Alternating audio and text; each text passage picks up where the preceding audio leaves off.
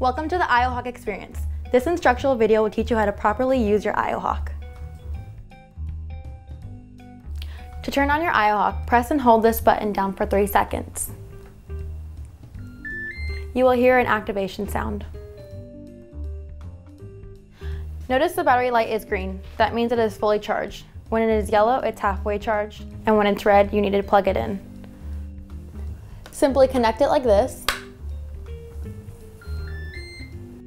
The indicator light on the charger will turn green once it is fully charged.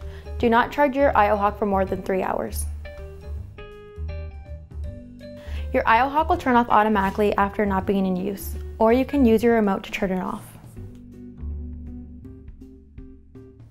To quickly lock and unlock your IOHawk, press down the bottom button once. That will lock it. To unlock, press it down again. Now I'm going to teach you how to use your IOHawk, but first remember to always wear proper safety attire. That includes a helmet, elbow pads, knee pads, and wrist guards. These are some very useful tips before getting on your IOHawk. Make sure you have a balanced foot placement. Not too much heel, not too much toes, but right in the middle will ensure a better riding experience. Also make sure you have a wide stance. The IOHawk is a very intuitive device and will balance itself and you. Once you feel comfortable and ready, take your dominant foot and place it on the IOHawk. Then step on with your other foot.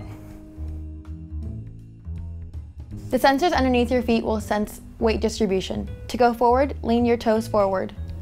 To go backwards, lean your heels back. Wherever you move, the machine will follow you. Remember to stay relaxed at all times. To dismount, take your dominant foot again and step off, one foot at a time.